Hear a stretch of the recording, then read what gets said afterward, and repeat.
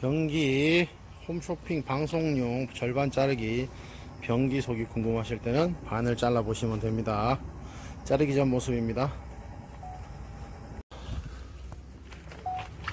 변기 절반 커팅 후 모습입니다.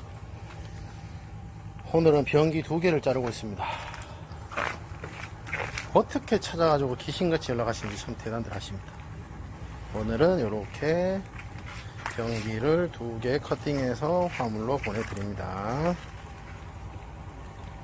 변기 절반 커팅 후 모습입니다. 변기 속은 이렇게 생겼습니다. 물이 내려가서 위로 올라갔다가 아래로 쏙 떨어집니다. 이게 변기 구조예요. 변기 커팅 후 물 세척 완료 후 모습입니다. 이제 패킹되어서 원하는 위치로 발송됩니다.